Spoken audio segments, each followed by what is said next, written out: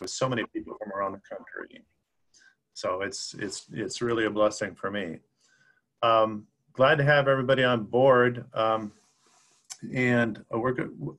First of all, I'm gonna I'm gonna uh, I'm gonna thank you for your patience and uh, as we go through this. This is a kind of a first for me online. I've done some things in person, but but not this way. But we'll get through it, and we'll share some different ideas, and and away we go. So, are we set, Amy?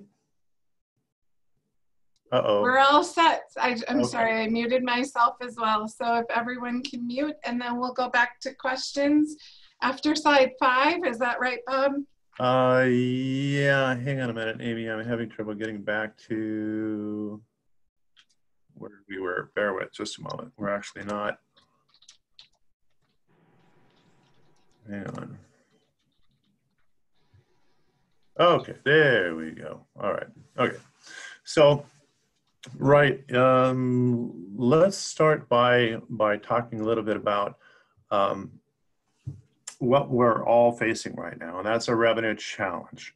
Uh, obviously, we we are concerned, and we look to um, other diocese, diocesan uh, newspapers, and, and and we're all kind of sort of in the same boat. Nobody has a ton of revenue right now. Everybody's kind of concerned about uh, about um, you know the future.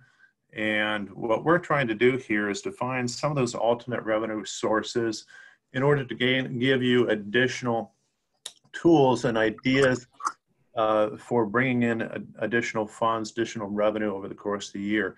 And um, we've, we've in, in past um, presentations, we've shared some, there's been a lot out there about some different things, different ways to look at it. And this, we've kind of looked at it as a 20,000 foot level where we've talked about you know, most folks know about, you know, special occasion inserts. We have funeral guides, wedding guides, and, um, uh, and some others that are around there. We've talked about, well, maybe there's a, a partner radio station where you can do package media buys. Uh, we've talked about, uh, you know, some digital publications, um, you know, taking to print paper and converting it over. And, and gaining a, a, a, subscription base and maybe something additional to sell to your advertisers in terms of a flip book.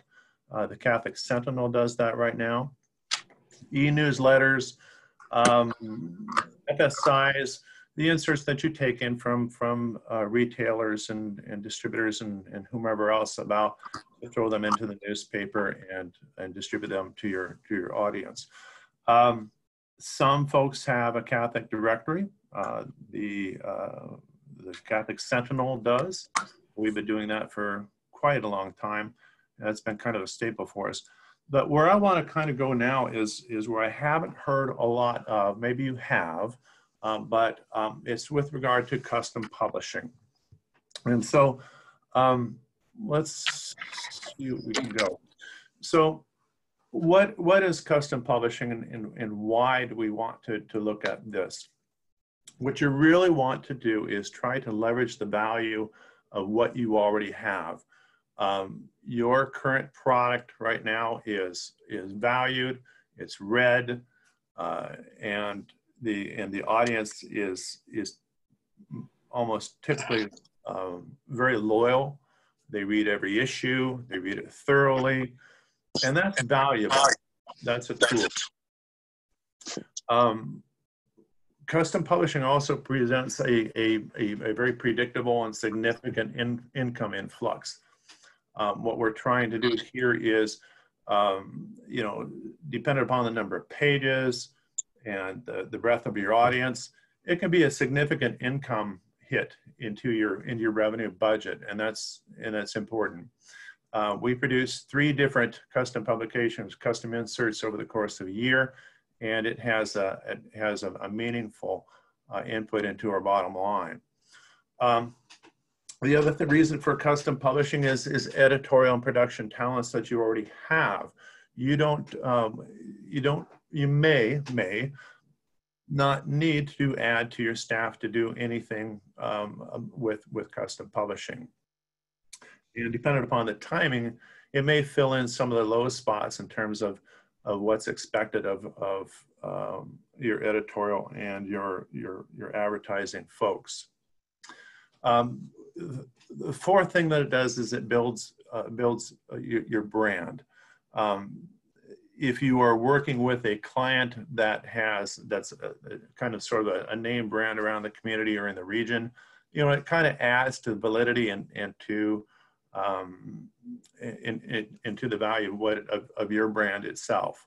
So um, it that's that's significant itself. It it it it gains additional attention from your audience, but it also is a tool to leverage when you're going after other business. Okay, uh, people like to see name brands out there, and they feel more comfortable visiting with you when you have something like that. Um, you're adding the value of your paper to the readership. Uh, because you're giving them more. You're giving them more information. You're giving them more resources. Um, and, and, and people kind of look for that. They want to see something a little bit different. They want to see, they want to learn something new. And the more they learn that's new and different, the more they're going to come back and keep reading your paper and looking at other things as well. You want to get them into the paper. You want to get them consistent. You want to get them loyal. And things that are new and different do that. Um, so that's important. Um, I mentioned a little bit about timing that fits within the editorial calendar. So um, if your clients are or, or client is, is open to when um, that um, when when a, an insert may happen, you can legitimately fit that within some of the other um, some of the other work that you're already doing with regular issues. Uh, at the Catholic Sentinel, um, usually the summertime is a low point, and so we start working with and uh, uh, we start working with uh, clients in planning for the following year and kind of mapping out what what uh, what we can do for them.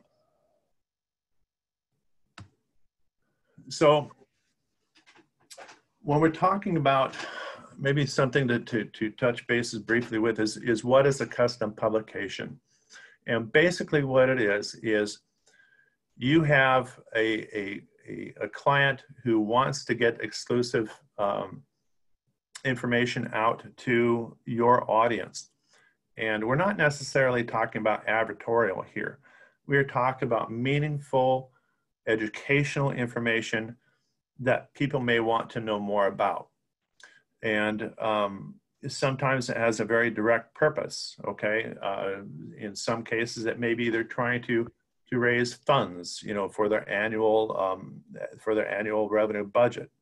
Uh, in some cases, it may be, you know, straight information out there. They want people to know exactly, for example, what the diocese is doing. Um, there, are, there are a lot of different applications here. So who are these potential clients, okay? And I want you to to kind of open up your your uh, your options in your mind to to not just what's local to you. Let's talk about a little bit broader um, casting of the, of the net. So they may be regional hospitals. For example, we have um, Providence Healthcare here. They're a large regional hospitals uh, group that is in, largely in the Pacific Northwest. Regional universities and colleges. University of Portland, um, the, the, major Catholic uh, university in this area is, is, is based in Portland, of course, but there are others uh, in, the, in the region too that may want to, to uh, get exclusive information or, P, or, or, or information about the college, whether it's for admittance or whether it's about you know, just their own brand building or, um, or it's about um, support for, for their university or college out there too. Uh, charitable organizations. Uh, one of the, the clients that we work with right now and, and we'll, we'll look at a little bit closely a little bit later on is Catholic Charities of Oregon. And they use um, their specialized insert in the, in the Catholic Sentinel uh, as a major part of their annual fundraising and operations. Uh, Medicare insurance providers, uh, you know, again, I can kind of point back to Providence Healthcare also has uh, uh, a, a, Medicare insurance program. Uh, funeral providers, maybe whether it's going to be a, a, few or maybe it's a large one, wants to get information out to folks about clearing the air about you know what is what is acceptable what is the what you know what what is um, what things to do and um, and what are some of the different um, options available to folks as they're planning out funerals or maybe dealing with that in the future. So these are just five different um, uh, different ideas here. So they are typically folks with larger marketing budgets. Uh, this is not going to be a, um, a, a, a, small um, um, a funeral home kind of a thing. Uh, it is going to be, you know, again, these regional hospitals, folks that have a reasonable amount of money to plan and use uh, over the course of their year. So look at, at those. Kind of doing a little bit of research is, is really important. So what do you need in order to succeed with, with, with a custom publication or custom insert? And I, I, I apologize, I kind of use that kind of uh, interchangeably, but, but I think you get it. So you have to know your audience. You have to know your audience and the strongest way to, to know your audience to, is to invest in a readership survey, okay? It doesn't have to be expensive. It doesn't have to be, you know, huge, but you have to know who is reading your paper, okay? So I strongly encourage you to find a way to invest in a readership survey. And whether that's a, you know, a single moment in time over a course of a month or two, whether it's over a stretch of a season or maybe even a year, as you kind of plan to to maybe you, you map out when you're going to want to do or start implementing custom inserts get that together find ways whether it's it's maybe it's a an incentive. Um, you know i think we offered a, an ipad mini at one point a few years ago and folks could submit their um, their their survey and be entered into a, a, a contest and or or or uh, I guess a contest um, to to win an iPad Mini. We had a huge number of folks um, uh, give us response for because of that, and so uh, find different ways, gather from different um, different sources, events, paper, radio uh, online, you know, uh, set that up that way. You have to have a strong understanding and an editorial production commitment. This is not just advertising and just editorial. And this is where even today, um, that there is strong feelings, can be strong feelings about, about straight editorial, does not cross the line into advertising, does not cross the line into production and so forth the, the, the, the, the truth of today is that those lines cannot be as definitive as they have 10 15 20 years ago they just can't they, they can't and and and and you continue to expect that you're going to have strong revenue um, it is important for editorial independence of course and we'll talk about that a little bit later but the bottom line is that your team has to be on board. And so you may feel that those lines get blurred a little bit, and that's okay. Uh, it is the reality of today that, and a challenge of today, uh, to to uh, to pull in more revenue for uh, your newspaper, for your media, and at the same time find that knife's edge balance about uh, about not about making sure that you are not a PR um, source for your, your client, but that you remain credible, uh, that you remain valuable, uh, because if, if you're not credible, it's, it's, if, if it comes across as PR, people see through that. The audience sees through that and they won't read it. Okay. And it can, it, it can damage you a little bit down the road in terms of a reputation or word of mouth.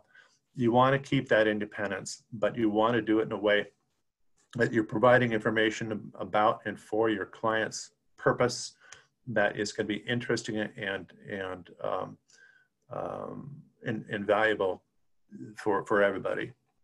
The third thing is is pre-planning. I mean, planning cannot be underestimated. You you have to map this out well in advance. Uh, the process that we do, for example, for Catholic Charities is, is a four-month process we from meeting with the with the client uh, late in the summer. Matter of fact, it's it's a six month process. We start working with the client uh, at the at the in the middle of summer, and the uh, the insert is produced and distributed in February. Okay, so it's that amount of time that you need to be thinking about your client, the product, the process, the materials, and the distribution. The, the project and the client management is, is we're going to talk about that, and, and, and it's a 20,000 foot view. Um, lastly, it's, it's, it's communications. Um, there, there's, there is a, um, a commitment with OCP and uh, about communications, and it goes kind of like this: you cannot cannot over communicate, whether it's with your client or whether it's internally. You have to know what's going on at all times. Okay, so that's huge. So there are three what I what I've kind of bucket bucketed into three custom insert models. And the first, as you see here, is a single source project. It's it's information and education only driven. There, uh, and, and the second then is a joint venture, what I call a joint venture project. And so what we're looking at there is that education influence, but they're looking to be able to offset the cost for doing that, okay? The third is a sponsorship project where um, where they have a particular budget, they are going to be, be producing this insert and, but they are offsetting their own cost for this with their own program. And again, don't, you know, I see the question marks over folks' heads, but we'll deal with that in just a moment. I'll share with you what those are like. So what is a single source project? So it's typically all editorial content as we've spoken about. There is no ads, there are no ads in the insert. Uh, the content is either supplied or specifically written um, by your team and it's direct billed to that particular client. The example that I've used here is the annual financial report from the Archdiocese of Portland and Oregon. And it's, again, it's purely an example, okay? Um, there, there may be instances where other clients want something very similar. They're not worried about uh, gaining back or, or selling ads or getting revenue to, to pay for the cost of doing this. Bob? Yeah. Bob, if you don't mind, I'm just going to jump in. Your slides aren't showing. They're not? No. Shoot.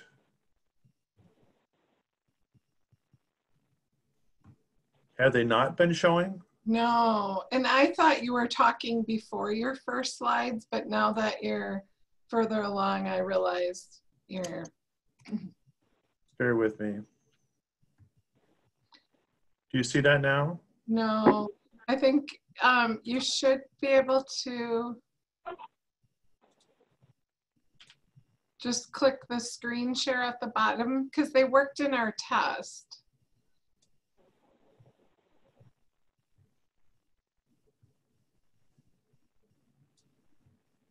Hang on a moment, Amy. Yeah.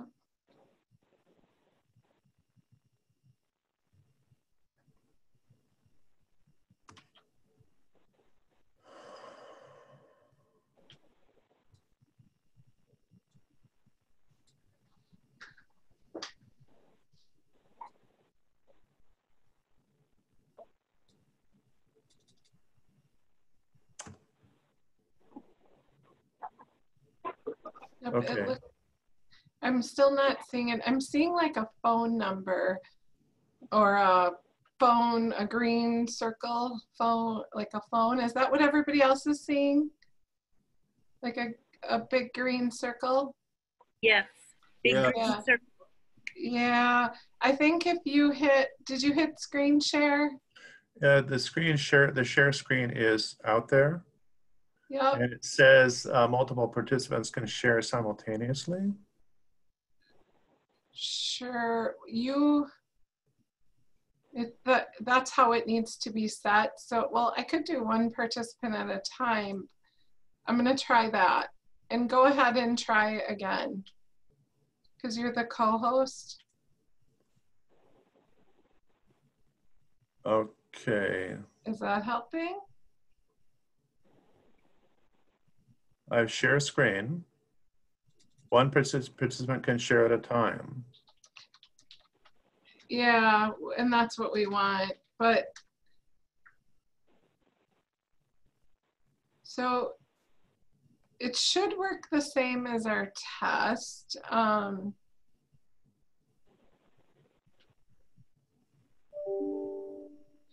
do you have, do you have the slides on a separate screen? I do. Yep, so when you hit the share screen, because if I click it right now, I can see all of my separate windows. And so you, if you click on the window that has the slide, it should be good.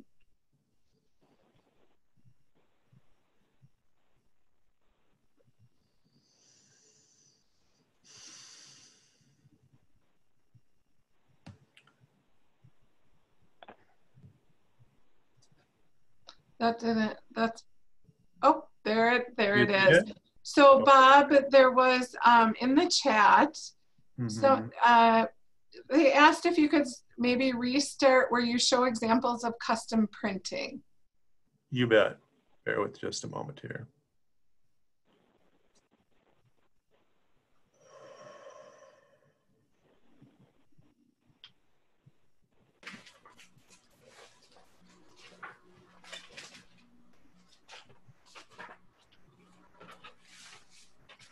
Can you see that? Yes, It says three custom insert models. correct. We're good to go. Okay. Folks, I'm sorry about that. Okay. Everybody see that? Yes, Okay, there we go. So, um, not to repeat too much, but there's the, of the three different ones that are sitting out there. Um, the first that we're looking at is a single source project. And again, that's in this particular instance, in this, in this example, we're looking at the annual financial report. So, um, it's all editorial content. Again, there's no ads within this piece. Uh, it um, can be four to 16 pages. Um, the content is largely supplied or you're contracted to work that with those folks and it's direct billed to the client. Okay.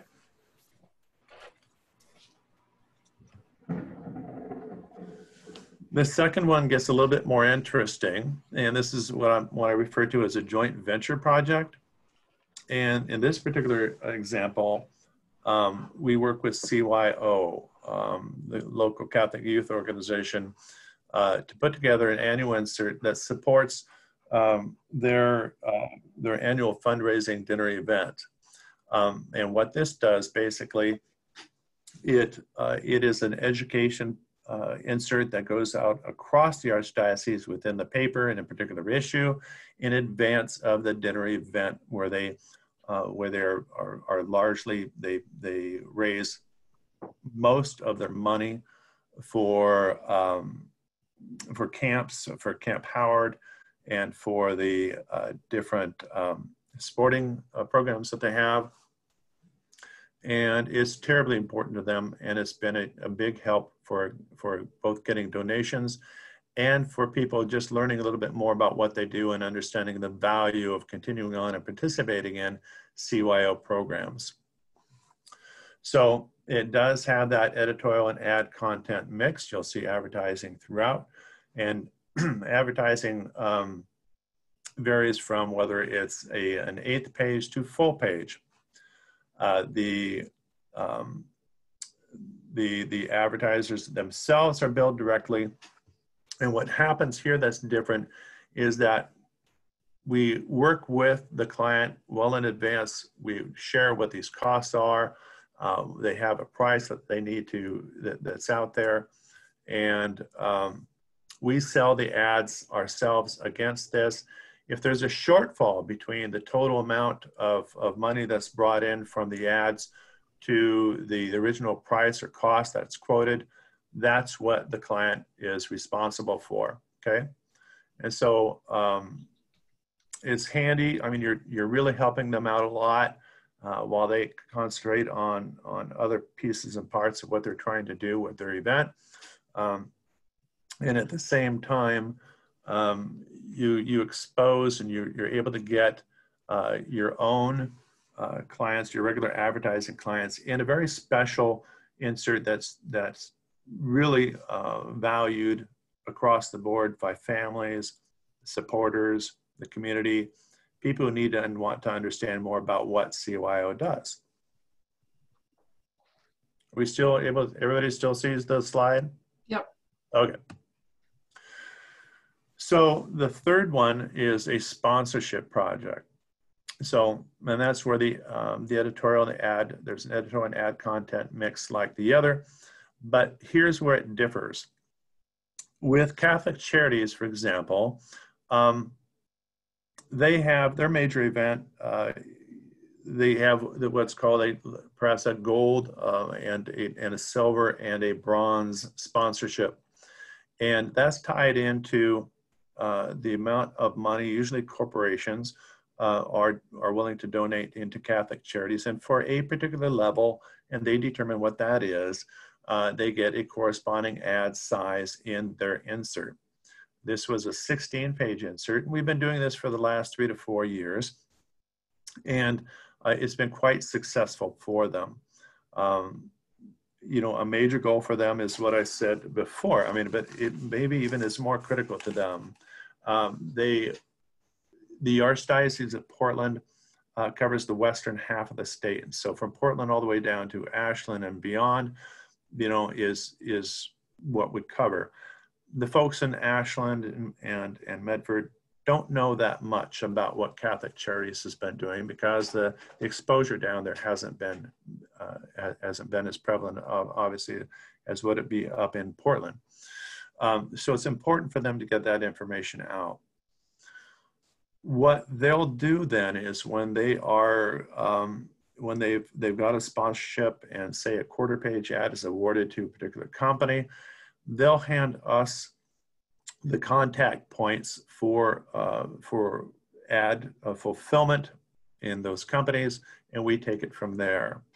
Uh, the company, excuse me, the Catholic Charities is direct billed uh, from the quote that we give them at the beginning of the season and beginning of the planning process.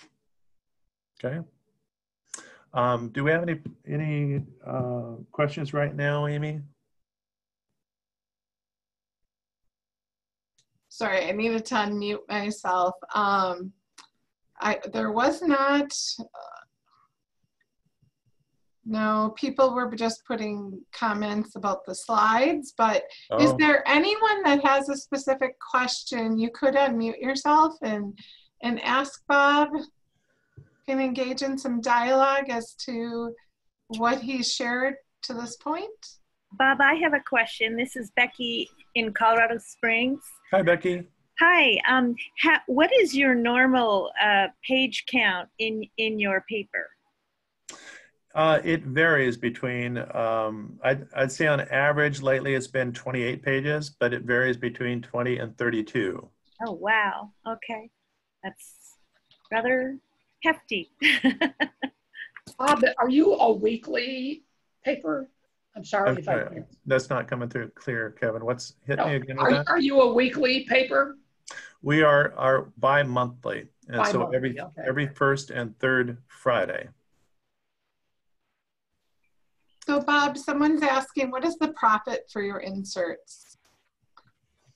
So um, yeah, mm-hmm. how much it costs, and then how much you raise.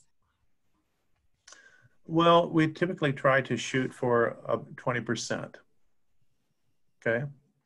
Uh, you obviously, I mean, it, and, it, and it, it varies a little bit. Um, we, we, we are not, I mean, all these, uh, if you're doing something something for Catholic Charities or for CYO, uh, those are important organizations and important to the mission of the of the church and the diocese. And so there's not as much an emphasis on on on profit on that as there may be for somebody who's more more of a commercial venture. Uh, but 20% generally is uh, is the rule of thumb. What is the size of your staff to create the materials? And then do you con- do you have any contracted workers? Like we have a proofing contractor. Do you have anybody that you contract to help?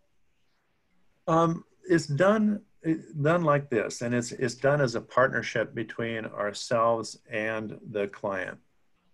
We have um, one, two, three. We have four editorial folks, including, excuse me, including uh, Langlois, our managing editor.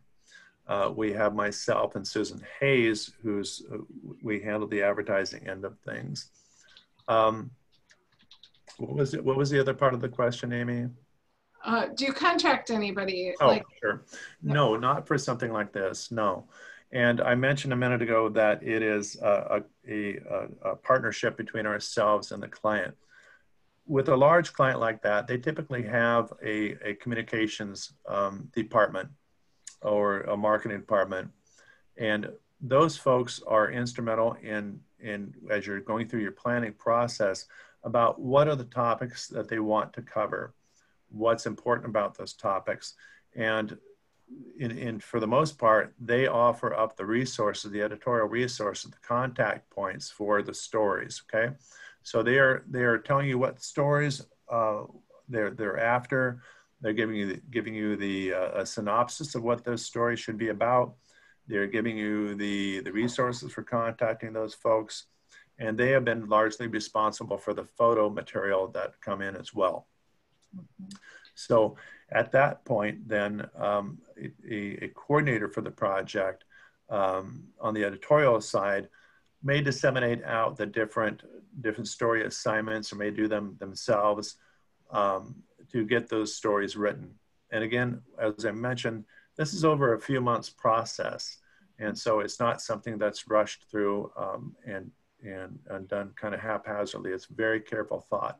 And as I mentioned, it's important that the client understands that this is not PR for them. That is not it. This is this is a story that's written about these topics um, that the client wants, but it is your editorial folks, professionals, who approach it and write about it as they would the stories in the in the regular paper themselves. So uh, we have never had a case where the client was disappointed. In fact, they love that um, that kind of sort of independence because it's a more newsworthy um, a piece of information, more newsworthy article that folks are reading. Does that help you?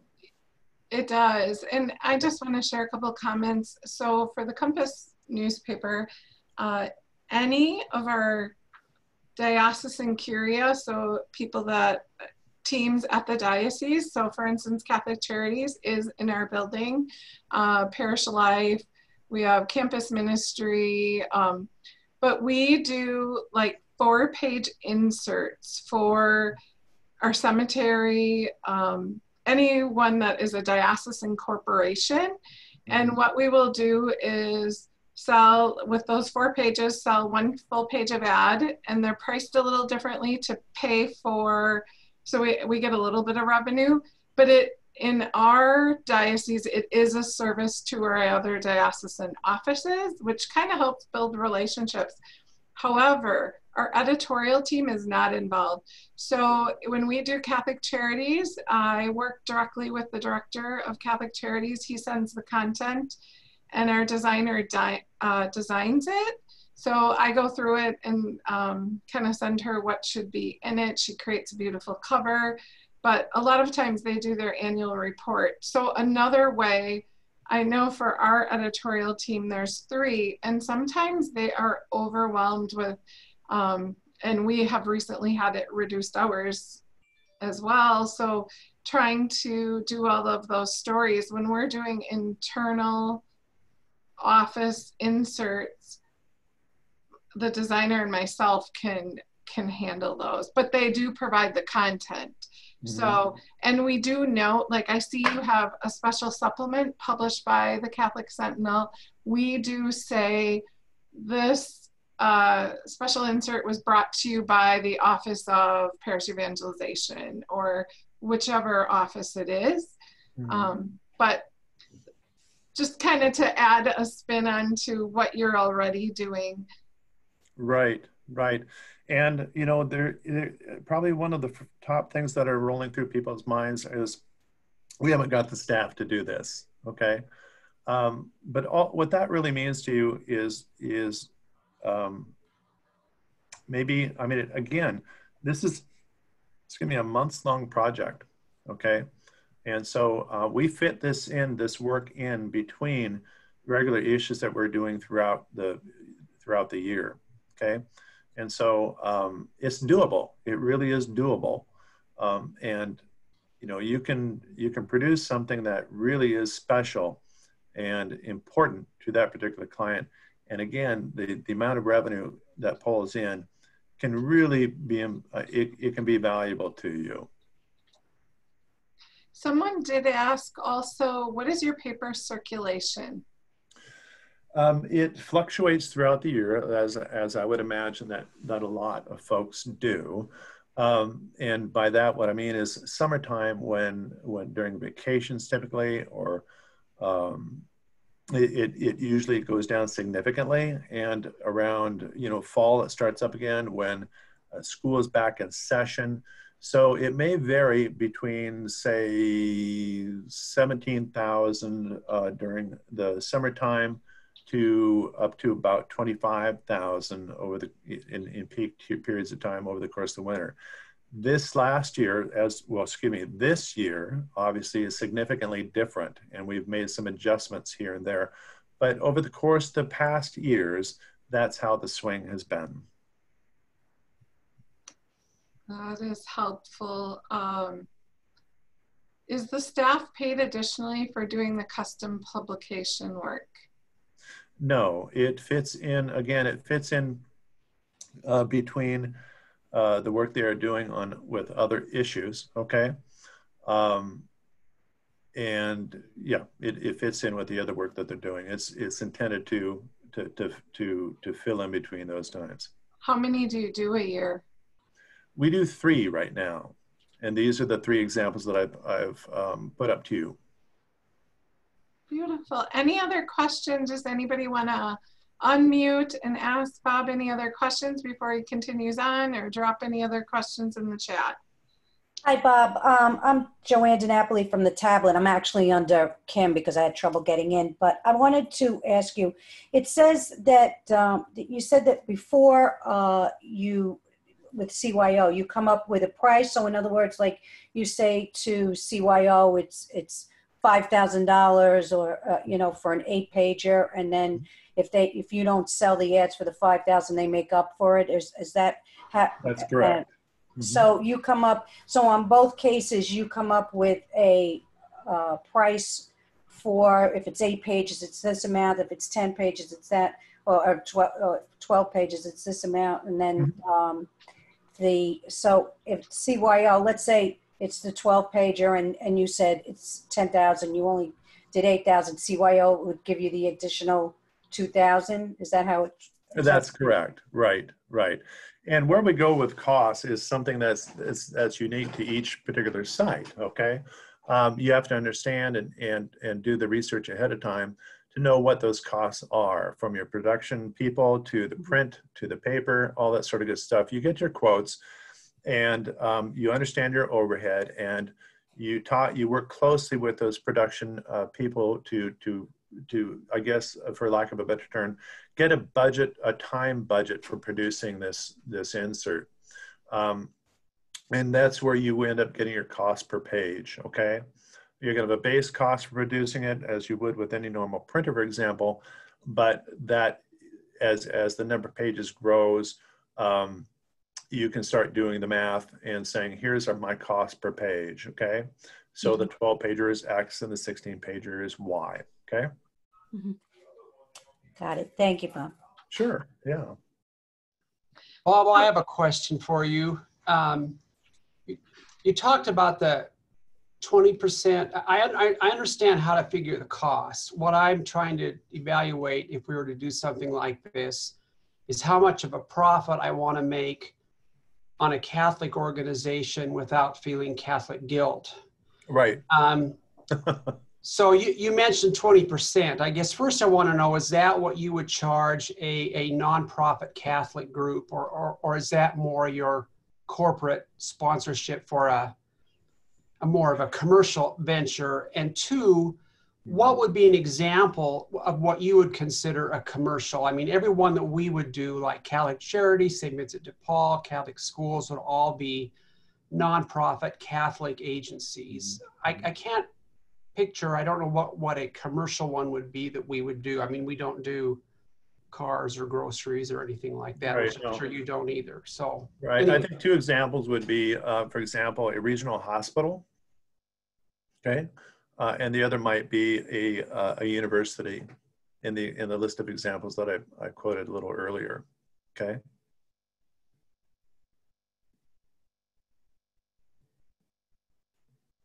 Does that help you? yes, it does. And also the, the 20%, is that what you would charge a nonprofit Catholic uh, enterprise? a, a nonprofit Catholic enterprise, um, it may go less. It may go less. Um, a large part of it may depend upon the quantity, okay, or the, the additional costs that we have. If they only want it, um, um, uh, I guess, um, partly distributed throughout our entire uh, diocese, there are a lot of different other factors to it we have to be able to cover our basic costs. You know, that includes labor, and you have to value your labor. It's important.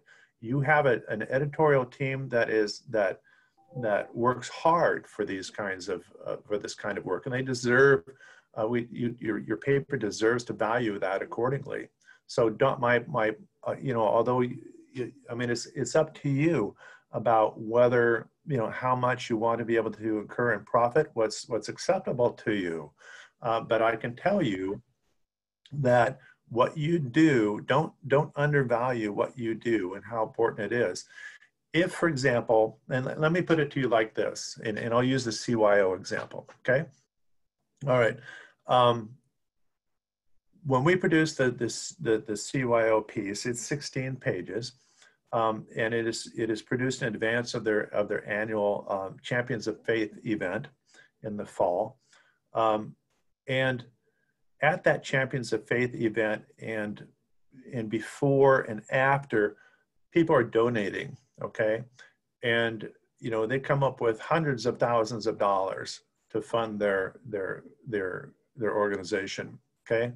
Um, and and and the other thing is that for CYO, for example, they've had people who've read the insert that we produce and whether anonymously or, or not anonymously, donate a large chunks of money in the tens, tens of thousands or hundreds of thousands of dollars, okay? So it's not just because of what we do, but what we do is important to what, to, as, is an important piece of what they, they present and what they get out of it. So don't undervalue that, okay? You're not trying to make a huge profit on on Catholic charities or a huge profit on CYO, um, but but your your your your your paper needs the revenue, and it's and and again, I guess it comes down to you know the the, the value of what you have and what you're doing for them. Okay, don't don't. I mean, it's it's not uh, it's important to keep that in mind. Thank you very much. Bob, um, they, there's a couple more questions and then Sure. we can move on to the next slides and stop Sure. for some more questions. Yeah, go for Uh, it. The digital initiatives, what digital initiatives have you pursued? Um, we've recently uh, put the Catholic Sentinel onto a into a digital format, a flipbook format, and we call it My Sentinel Now. Okay, and um, organically, uh, and by using uh, the da- a database that we share with OCP, we send out a free subscription offer to the digital publication. Okay. Mhm. And this is uh, kind of a work in progress process right now. We've got the basics out there. We're working on some enhancements to make it of more value to the um, uh, to the advertisers. For example, we'd like to be able to see hot links directly from the digital page that you mouse over to their site. Okay, uh, to create more value. Um, so that's that's what I mean by the, a, a, a digital effort there. We also do things like Facebook and, uh, and, and Twitter, um, obviously to generate more interest in the paper itself. Uh, but, um, but I'd say these, both the, the digital publication and the hard publication itself are the two main um, venues for, for Catholic Sentinel. Is, is your uh, digital distribution, is that housed on your server client, your server, client server, or third party? It's housed on our server, on OCP's server. Okay. Is there any problem with rates when doing the section, especially if client is selling ads? I'm, I'm not sure I understand the question. Kimberly, do you want to unmute and just clarify?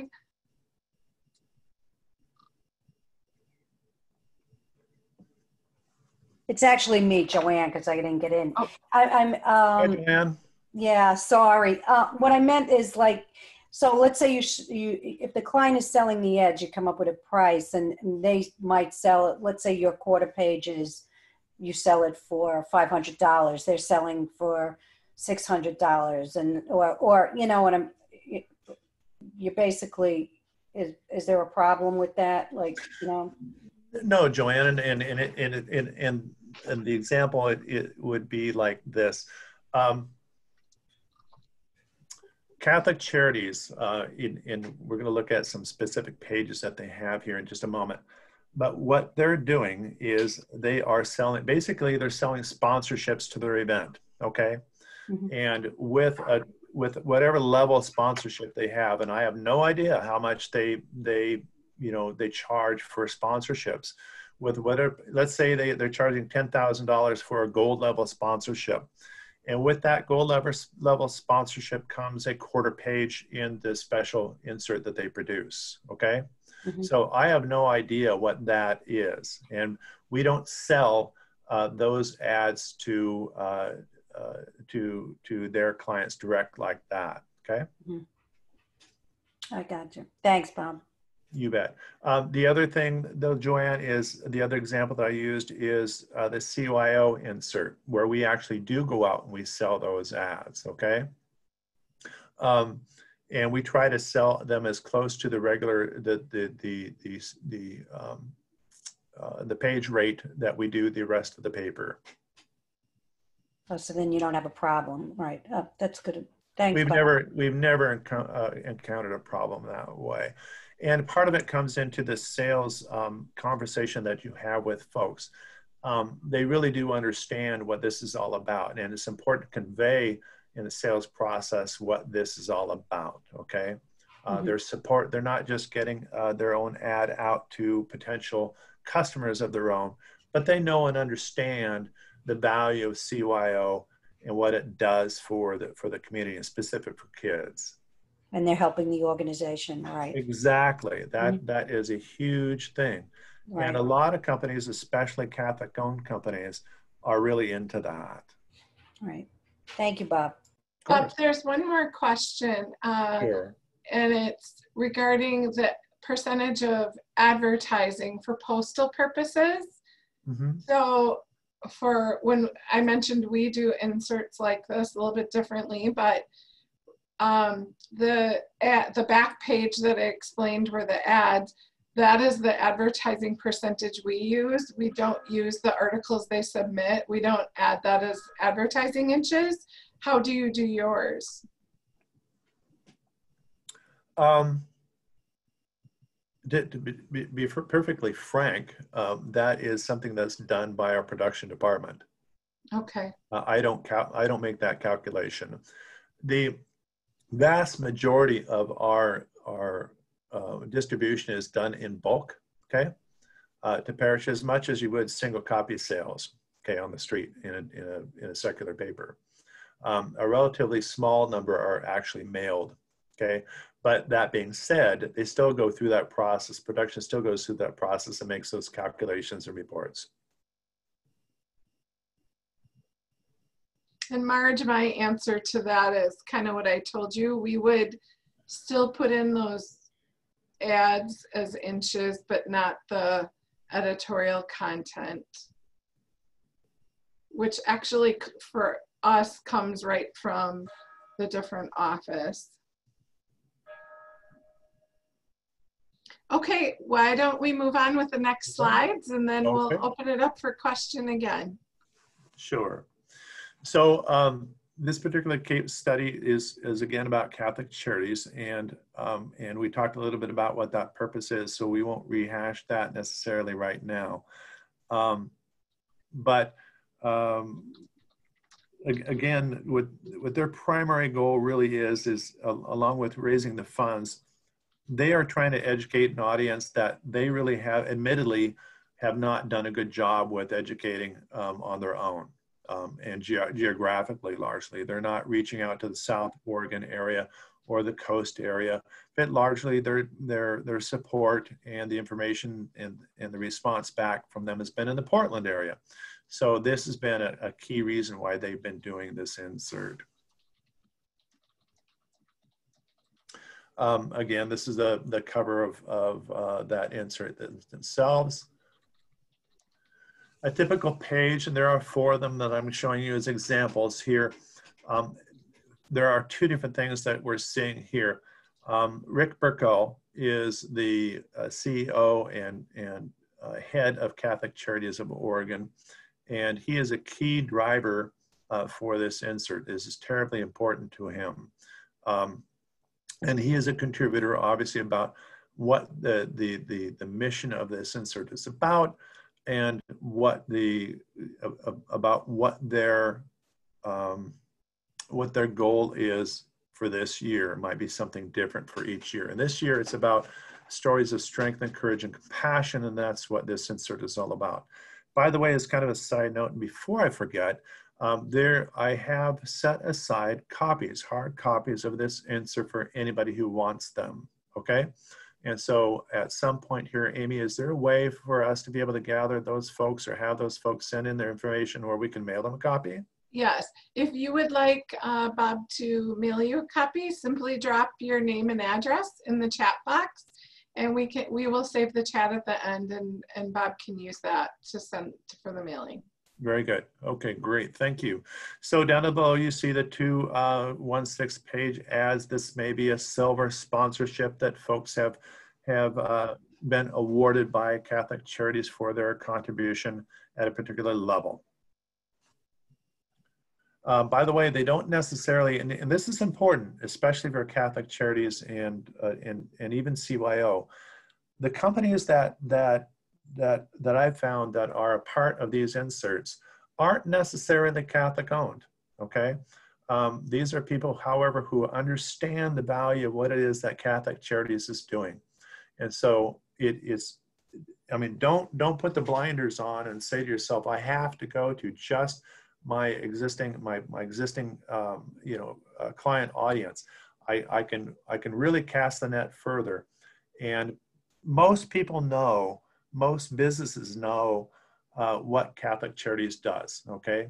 And, um, you know, or, or, or, what CYO does, excuse me. And, and, and it's an easier, for lack of a better term, it's an easier sell. So uh, Bologenic, I don't believe is, or, or LMC Construction are Catholic owned, but they understand the value of what Catholic Charities does, especially in the current climate with immigration issues um, you know, you know, making the headlines and an important piece of, of, of what they of what Catholic Charities does. Okay. Another page from that, you can see where Providence Healthcare is is a part of this insert. Uh, same with um, you know uh, financial folks, and the the breadth of who participates is not necessarily limited to um, to nonprofits. Um, again, they they vary and they're wide ranging. Okay.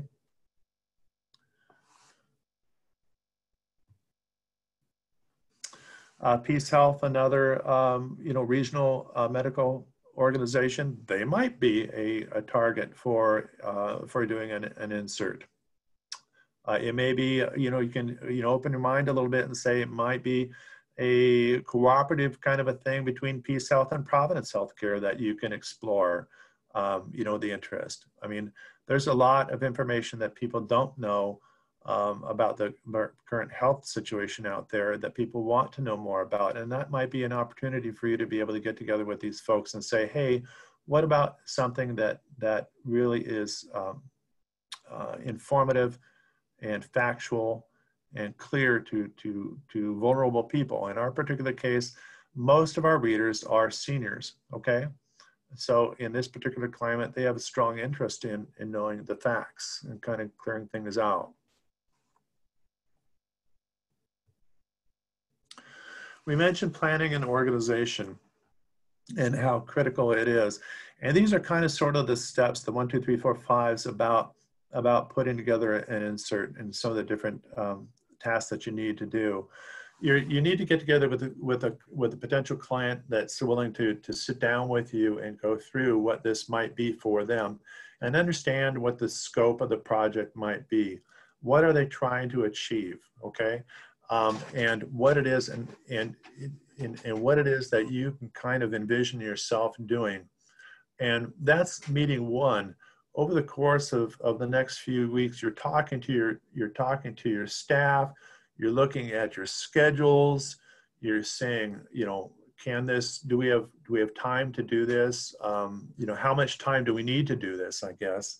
Um, do we meet the, the, the, client's deadline for getting this done or, or producing this in February? And how far back do we have to, to, to do to, to, to plan to do this project? Again, we start talking to our clients in this particular, in, in Catholic Charities, we start talking to them in July, okay? And we start getting down to the nitty gritty um, of, of um, uh, specific article topics uh, no later than October, okay? And starting in November, Catholic or uh, the Catholic Sentinel start those those um, writers start going to work in putting together the doing the interviews, putting together the articles, and then um, and and then that and that's again that's that's kind of the project scope. Um, the the proposal acceptance here they understand here's the cost, here's what it's going to cost you. Um, they're signing off on it, and, and kind of sort of that's where the, the, the, the trigger gets pulled and away you go. Developing project schedule, okay, uh, and the editorial schedule for doing these things. Um, coordinating, you know, one particular person, or maybe usually it's one particular person uh, to pull in the ad materials, okay, um, and then fulfillment, the distribution, the actual print and distribution of the piece itself. Those are the three, the five, excuse me, the five key areas that are involved. Uh, this is what a planning and production schedule looked like for the Catholic Charities insert this year. Okay, and uh, again, this will be on this on on the on the on the slideshow that I that Amy we can get back out to folks after the after the meeting. Um, you can see in this particular case, um, the initial planning meeting actually, again, it started in July, but what we decided to do was when we were, when we said, okay, this is when we're really going to, to, to pull the trigger on getting editorial folks um, out there and start doing their thing. Uh, we've finalized the story list and we have a, a place where um, stories come in from Catholic Charities and Catholic Sentinel. Those stories, I can't particularly share with you those those particular stories, but what you'll see there uh, is that those that story list is carved up. Maybe there's 13 stories out there that we're going to include in this in this insert. Um, nine of them are being written by the Catholic Sentinel Four of them are being uh, submitted by Catholic Charities. All of them get edited and um, by the Catholic Sentinel staff. Okay. Um, we go through the, the, when we give them a time date about when the sponsor ads have to close uh, in order to get in the materials. We go through the the, um, the the print orders and the proofing and the soft proofs from the printer, and then we get into the when copies mail and ship. Okay.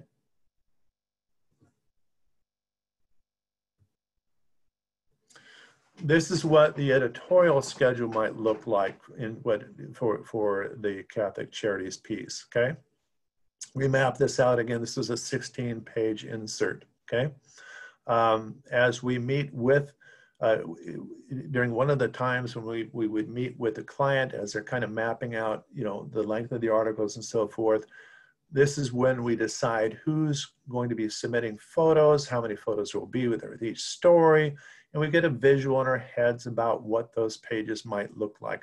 We've been doing this three or four years in a row, and so we kind of got it down. But obviously, if you're just starting, you're kind of you know mapping out, scratching it out on paper about you know what the look might look and feel might be of that uh, of that uh, of that insert. Okay. Um, we largely, you know, in terms of placement and pagination, we get a feel from the client about what are the key stories where you know what do they really want to try to to to emphasize the most. In this particular case it might be the bond program and the cathedral village that they have going on. And um, uh, the infographics that they may want or, or, you know how jumps work from page to page. Um, and then where you know, key sponsorship, uh, full page editorial, excuse me, full page ads fit in. So it kind of gives you, your editorial team, a roadmap to work with about, you know, pulling together the, the insert. Uh, on the editorial side, there's typically one uh, key person in, in, our, uh, uh, in our particular case, Katie Scott, um, who really kind of heads up the editorial side. She'll sign out and gather in and, and be the the the um, the chief uh, organizer on that editorial side of the of the insert.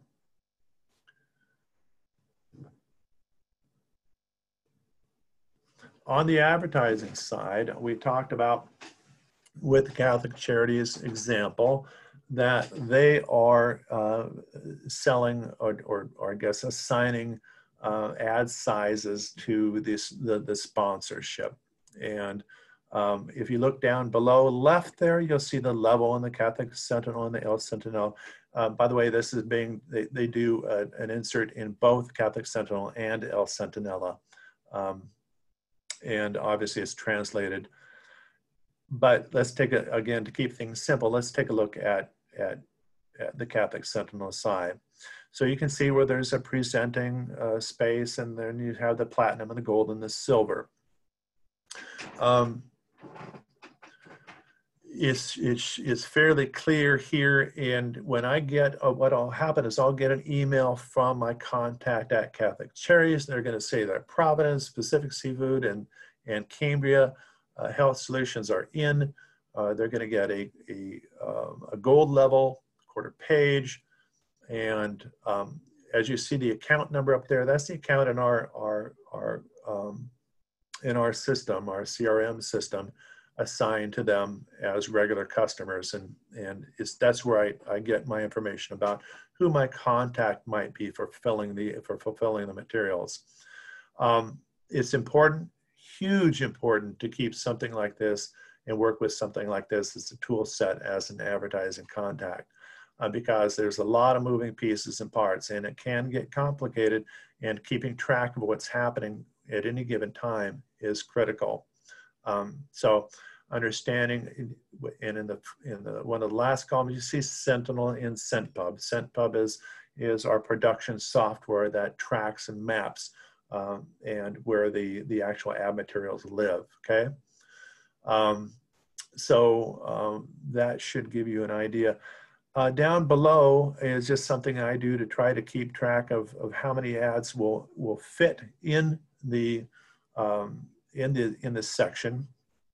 So you see the, the in the gray box down below, um, those ad sizes, and then I compare them with what it was done last year. And I look at last year's and I say to myself, okay, that was a good fit ad to edit ratio. That's what we're shooting for, okay? Uh, as we get close to the, the deadlines for ad materials, I'll be in contact and I share this document with the client and saying, okay, you know, we've got three spaces left, to kind of slow down the horses there and, uh, you know, keep that in mind. This is what we got to, to work with. Um, if, in it, in it, it can be one of these things where if you've got a 12 pager planned, you know what, I, they're saying I've, I've got six more sponsors that may want to be in this thing. And then that's when you start talking about an additional four pages, okay? And those costs and, and what's, what's involved with the work and whether you can even accept that given the amount of workload that your editorial team has to, has to work with. It's again, one of the things we looked at very, very first, and I apologize for the slide program. Um, you are, uh, you know, you, it, it is really important to stay on top of what's going on at any given time. Um, and communication is, is just imperative within your own organization. Um, I don't mean to make it sound daunting. It's not daunting. It really isn't. But it does require attention and kind of keeping track of what's going on. Okay. So this is kind of the where we are at the end. And um, what you do uh, is as as an advertising representative, as an editorial, uh, you know, staff member, as a as a as a, a leader there is important. Uh, it's vital to what the mission of your diocese and, and the church is all about these days. Communication is key, and and it's influential. Uh, don't undervalue what you do. Uh, it is is, is terribly important and it's important for you to, to, to keep that in your mind, okay? Amy, that's what I've got. So we will open it up to questions. We have about uh, 15 minutes before we'll watch the Cardinal John Foley Award together. So um, if anybody, we have a couple questions in the chat, but then we can invite everyone that has a question to unmute, uh, to share, and maybe even talk about how COVID has affected your advertising. I know for us, I spent a couple weeks uh, removing ads as faster than I scheduled them. And uh, they're starting to come back now. So things are starting to pick up for us, but it's uh, it's been a slow transition in the last week or two. It's gotten very active, and I'm hoping as groups of people can come together, we start to see more of the retreats and the events that we lost. But we've had we have some pretty generous people in our diocese, so that's been great. I am going to jump back to first, Bob. A lot of people, some people are asking for a PDF file of those those papers are you able to? do that. Okay, so they have put emails in there. Some have put addresses. So we will save the chat for you. One thing, other thing is, would it be possible for you to drop the PowerPoint file into the chat? That way you wouldn't have to email that to people, but if they wanted to look back on it, they can download it from the right. chat. Yeah, if Amy, if you don't mind helping me do that. So if you, more than happy to. yeah, sure. So as we go back and answer the questions, or maybe while we're playing the video, what you would do is open the chat and there's a little file. It says file and there's a little um, next to the two. You would click on that file and then click on your computer and find the file on your computer and it will drop right into the chat. Okay, we'll give it a shot. Um, so let, let me just scroll back here for a couple of questions. What paper stock and binding are you using? So um, it's the same size as the rest of the paper. We do a um, an 11 by 17 tab, okay? Uh, and uh, we try to keep it the same stock as the, the rest of the paper, okay? Mhm. Um, if you want to do something, if, and, and this, this probably applies more to if you are working with, um, mm, let's say a 60 brightness sheet uh, in, in, for your regular paper. And what, but what you can do is, as part of your quote process, uh, you can quote it on a higher basis paper, okay? Uh, paper stock, and you work with your printer on doing that. And again, that's part of your pricing. Um, you, you, you know, one of the goals that you want the, the, the, the, the insert to do is to pop out, to stand out. And you don't have to, to make your entire uh, um, issue the same, but you certainly can make the insert itself a little bit higher quality stock. Sure. Um, Jean is asking if this is the only session that deals with possible revenue sources. And there are just three sessions in the business track. I, I see he's looking to discuss weddings, anniversaries, obituaries. Um, we will be having free webinars in the following weeks after the conference. So if that's something we might be interested in doing like an advertising roundtable and just bringing those ideas together. Maybe we even just have everyone bring uh, one tip of something that they have generated added revenue that's really worked for them. And if everybody's interested in that, we can set that up through uh, through the CPA.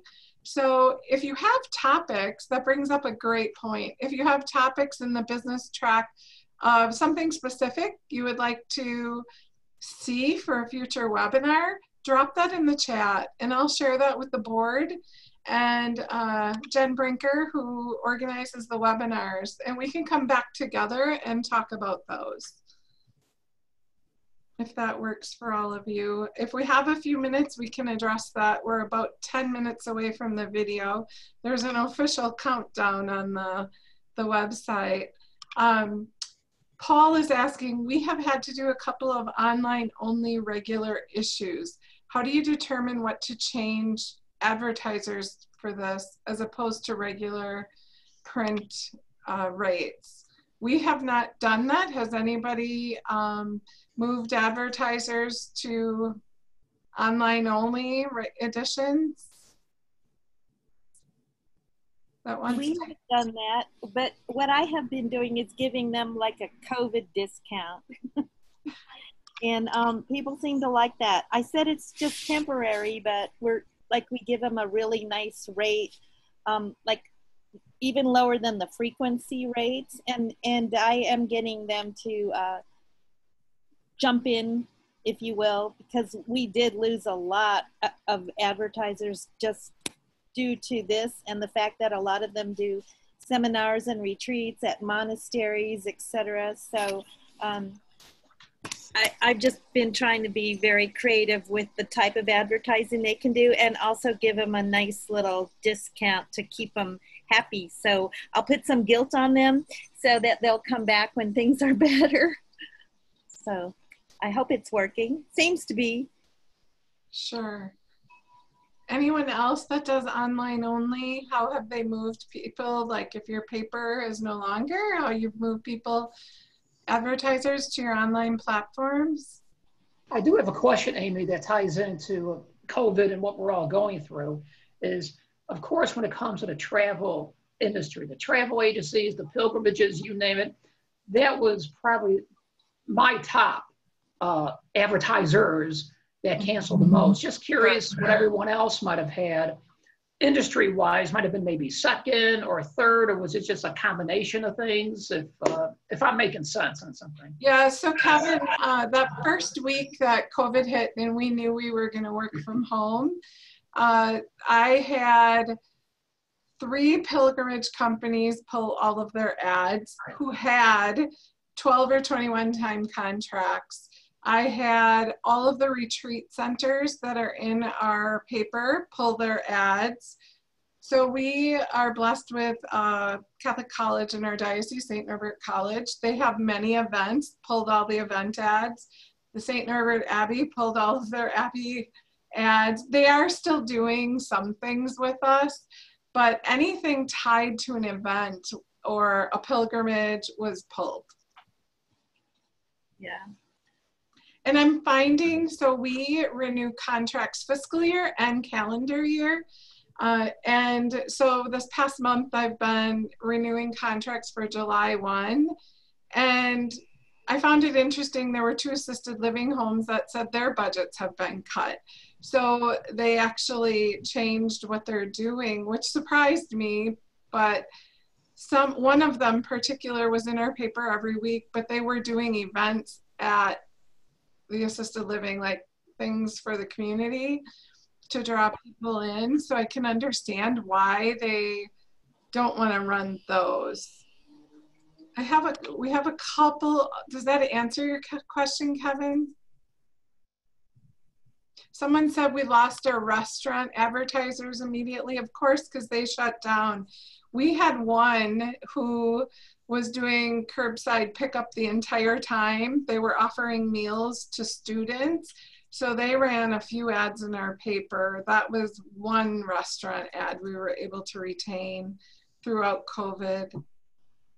Um, yeah, we were just doing our, um, what I do, usually in the months, February during Lent, I, we, I have a special section for restaurants, especially with fish fries, vegetarian menus, and those type of things. And it was right at that time in the middle of all the Knights of Columbus and some of the restaurants I had, they were all gone. It's like, Kevin, you got to cancel the ad. This is like, oh my gosh, you know, there goes the revenue straight down, which of course, uh, most of us too. I don't know, it would have been a salary plus a commission thing. So personally, it hits you like it hits them and goes right downhill. Correct. And then you also have like the parish picnics that are now drive up picnics they're not all advertising because their revenues down so uh, someone noted fish fries the pandemic hit in the middle of our fish fries so they ran for a little bit and then were stopped we did have a couple parishes that did uh, pick up fish fries so they continued uh, Bob asked, has anyone had success with a custom publication of this type with a secular non-church institution or corporation, something that ordinarily would not advertise in your publication. So ideas like we have a, a construction company here and they did a huge half page ad supporting all the healthcare workers. That was an ad we would not have gotten without COVID. Um, they are in and out of our paper often, but has anybody had ads that they wouldn't have gotten if it wasn't for the pandemic? Amy, we had um, Providence Healthcare um, place a full page ad uh, in, in, in a recent issue celebrating um, healthcare workers. I think they call it Healthcare Workers Week. Okay, uh, this last month. Yeah, I was specifically thinking of the custom publication uh, aspect. You know, get getting uh, you know a, a, regional trash remover to explain in their uh, in a four-page insert how they're uh, being environmentally sound. For example, you know somebody wanting to link to um, a, a Catholic value of, of some kind and I think that they might not necessarily advertise with a uh, with the Catholic with a Catholic newspaper or a Catholic magazine, um, but they might want to do something educational that way about um, you know environmental kinds of issues. Sure, it could be something like that. Think about it though; it could also go a little bit more broad, and your insert might be about essential workers. So you're covering the grocery stores, okay? You're covering the trash folks. Um, you know, you're covering the mechanics. Um, you know, some of those folks. city, uh, city transportation. I think I can think of, of probably several that would be interested in that. We're going to transition over. We have just four minutes and we want to catch the beginning of the video. So I'm going to screen share the Cardinal Foley Award. Feel free to continue to drop comments or questions in the chat box. We can quickly go through those before we dismiss following the award. If some of you need to sign off, we understand because the session did go till 1230. I will look into an advertising roundtable, so watch for that coming out in member news. If you're not a member, um, feel free to take advantage of the membership uh, drive that's happening during the conference. So a huge thank you and thumbs up to uh, Bob for a great presentation today. Thanks, Bob. Thank you so much. I, I truly appreciate everybody. Thank you to all the people that joined us. It's great to be with you. So I will start the screen share. The video is not officially live yet, but can you all see it? Yes. Yes, Yeah. Sorry. yes. Okay, so it's hard to tell what's um, actually on everyone else's screen when you're. It says three minutes, so it's.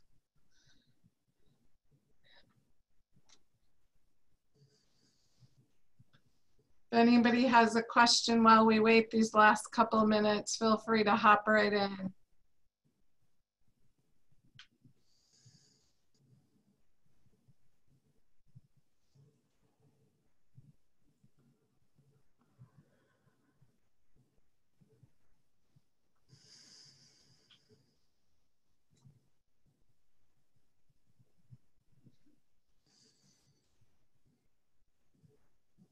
This is like, I feel like we need a drum roll for the last couple minutes. Oh, we could give you a weather update if you like here in Rockford, Illinois. It's Uh, about 90, Here, right? 90, yeah, here 90 and cloudy here and there. Same situation for the uh, 4th of July weekend.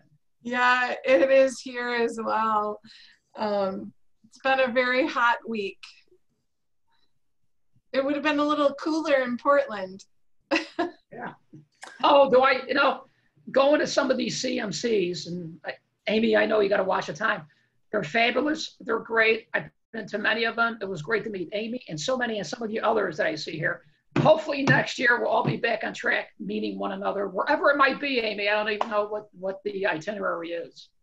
We sure hope so. And um, you will see a welcome video to Baltimore for next year coming out during the conference. So watch for that.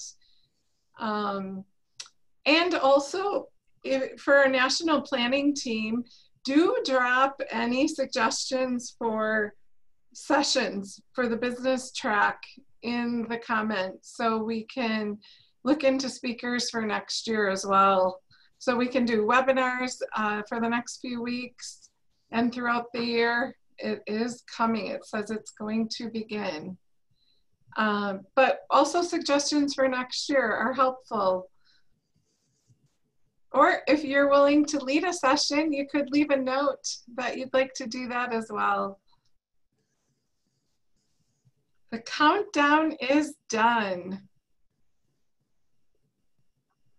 So each session this morning is going to play the video at the end of their session. 1230. And the CPA really owes a huge shout out to Chaz Muth because he put so much time into all the videos and all the work for the awards. He's he's really done a lot and been great to work with. Here we go. Can you hear it? Yeah. Yes. Feels like New Year's all over again.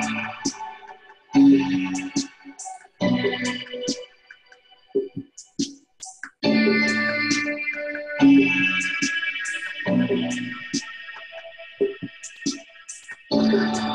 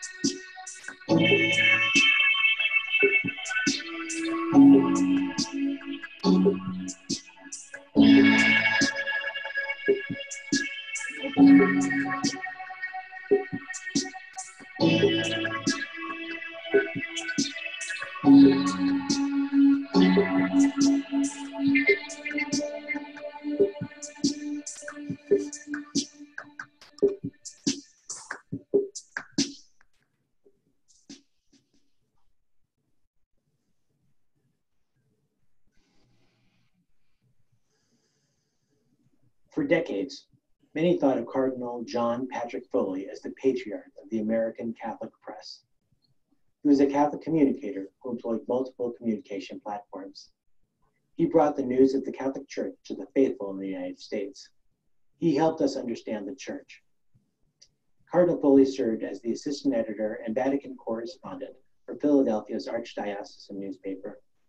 He was the editor in chief there from 1970 until 1984. Cardinal Foley also co produced and co hosted Philadelphia Catholic Hour on WFIL radio. He also served as president of the Pontifical Council for Social Communications. And those of us who had a chance to know him can attest to his sense of humor. His life continues to set a standard for Catholic journalists to follow. That's what the Cardinal John P. Foley Award recognizes. It is given to a person who demonstrates excellence and innovation in Catholic storytelling. That storytelling can take many forms, including video, podcasts, photography, and multimedia presentations. The board of directors received a number of nominations this year. And no kidding, they were all good. The winner of the 2020 Cardinal John P. Foley Award is Chaz Muth of Catholic News Service. His nomination reads as follows. In 2019, there are numerous examples of his work in photography, videography, animation, and multimedia storytelling. This past year, he developed several important series that combine solid news reporting with strong visual storytelling. One was a series on the seal of the confessional. Chaz used long form videography, photography, and text form writing to take a nuanced and balanced look at laws being introduced and the history of the often misunderstood sacrament. Chaz traveled across the country researching this story and produced a four part series in print and seven companion videos outlining the issues. He also created one social media video and one comprehensive documentary video. He spoke with both critics and defenders and helped to explain why it is an important issue for Catholics. Last year, he also did a three part print series with companion videos on the history of the Catholic Film Office. Using historical footage and a wealth of on camera interviews, he explained the issues that gave rise to the Legion of Decency and the Hays Code, the evolution of the office over the years, and where it stands today. His series brings to light a fascinating piece of U.S. Catholic cultural history. Taking his talents in a new direction, Chaz also created an animated short, which was the clever use of an easily approachable visual format to teach Catholics a bit of their own history reminding them that how bishops are appointed now was not always the way it was done.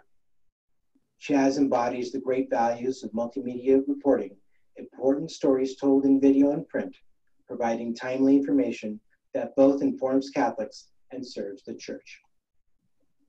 Congratulations, my friend. You set a high bar for all of us. I cannot tell you what an honor this is to receive the Cardinal Foley Award anything with Cardinal Foley's name on it is more than an honor, and it's incredibly humbling. He was a giant in the Catholic press. And wow, what, a, what an incredible innovator in everything that he touched. I really want to thank the Catholic Press Association for bestowing this honor on me, and especially considering all of the other incredible candidates that were up here for this year. And I gotta say, thank you to everyone in Catholic media. I've been a journalist for a very long time. And, you know, when I joined the Catholic Press, well, I guess it's probably close to 15 years ago, I got a whole new home here. And that is, I tell people this all the time, and that is, you know, there are lots of stories that you do cover, and there are a lot of things that aren't always so happy to cover. But for the most part, in the Catholic press, I get to cover the best that humanity has to offer. And I'm really grateful to that. I'm very humbled by this award. Thank you again.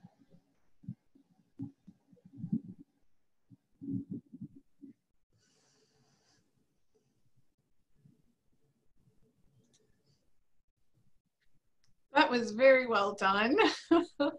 and I had no idea that it was Chaz was the winner. so well deserved. Um, so let's just turn off my, escape this other screen here. Were there any final questions before we dismiss for today? Thank you, uh, Tony. I, I don't think we can hear you though. Oh. Tony?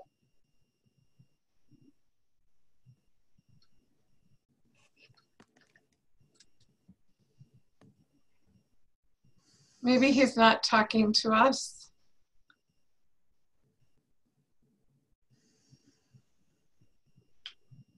It doesn't look like your mute's on, Tony, so you should be able to hear you. Hmm. Unless he could type in his question or chat it. Oh, yeah, Tony, do you want to type it in? That's my one good idea for the day. I gotta go.